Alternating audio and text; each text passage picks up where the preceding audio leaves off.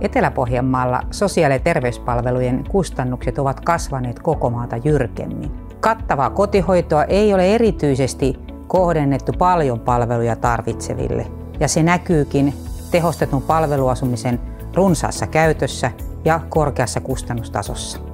Vammaispalveluissa raskas rakenne näkyy edelleen sen kustannustasossa.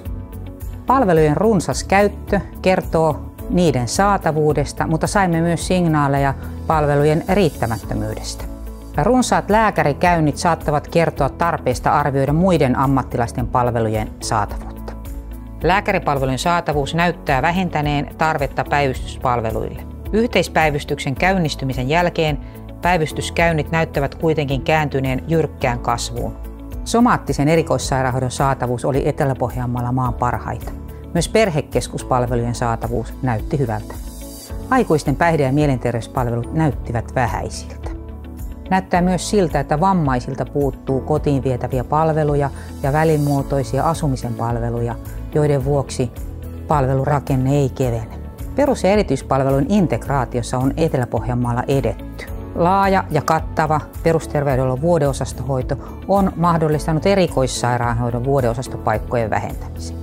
Lasten ja perheiden peruspalveluihin panostaminen näyttää vähentäneen erityispalvelujen tarvetta. Lastensuojeluilmoituksia ja kodin ulkopuolelle sijoituksia on alueella koko maata vähemmän ja uusien lastensuojelun avuhuollon asiakkaiden määrä vähenee. Työttömien koko maata korkeampi aktivointiaste ja pienempi työmarkkinatuen kuntaosuus kertovat integraation toimivuudesta.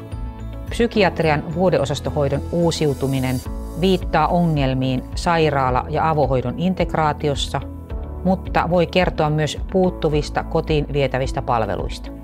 Kiitos Etelä-Pohjanmaalle ja THLn asiantuntijoille arviointiyhteistyöstä.